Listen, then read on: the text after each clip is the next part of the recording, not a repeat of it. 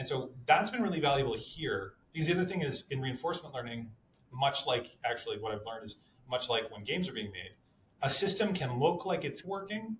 And then when you really dig into it, you realize it's not really working at all. Oh, yeah. Yeah. With Yeah. so many experiences with, we would put random robots that were literally like move in a direction for a number of steps, pause, pick a random direction, and repeat.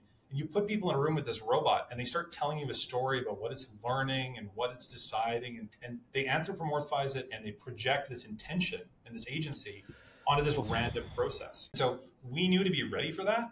And so now we come here and we, the games team hook something up and they build a robot or they build an agent, I should say, in a game.